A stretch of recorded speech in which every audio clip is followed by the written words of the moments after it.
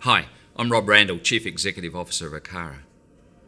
In this vodcast, I'd like to talk to you about the Australian curriculum and the review recently announced by the Australian Government.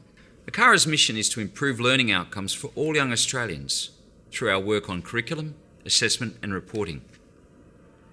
In developing the curriculum over the last few years, ACARA has undertaken a rigorous national process, considering more than 8,000 submissions which incorporate the views of thousands of people teachers, parents, professional bodies, interest groups, industry, business, and state and territory education authorities.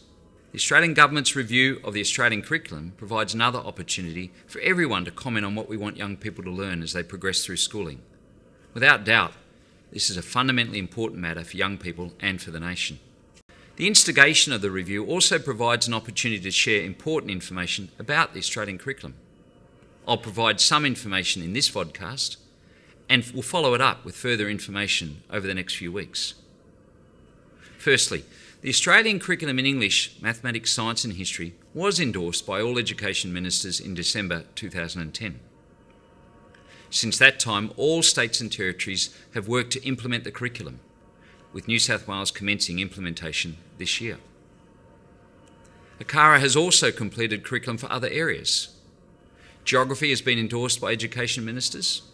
The arts, health and physical education, technologies, economics and business, and civics and citizenship curriculum are awaiting endorsement as national curriculum. But with the agreement of education ministers, they are available for states and territories to implement if they wish to do so. When you're reading the curriculum, it's important to know that the key elements are the content descriptions and the achievement standards. The content descriptions specify the knowledge, understanding, and skills that teachers are to teach and young people are expected to learn across the years of schooling. The achievement standards describe what students are typically expected to understand and be able to do, having been taught the content. Across F to 10, the achievement standards describe a broad sequence of expected learning. All of the other information provided on the website, including content elaborations, work samples, etc., is support material, which teachers and others can choose to use or not. If you look, for example, at the mathematics content descriptions and achievement standards for Foundation Year 10, you will see subject matter that is clearly and unambiguously mathematics. In the English curriculum content descriptions, you'll see subject matter that ranges from spelling, punctuation, grammar, and phonics through to poetry and classical literature.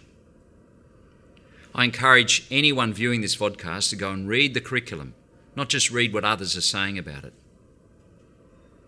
The Australian curriculum, the content and achievement standards, sets out what we would like young people to learn. The Australian curriculum does not determine how it should be delivered. We think that teachers in schools who know the students in their classrooms are best placed to decide how to organise and present the learning.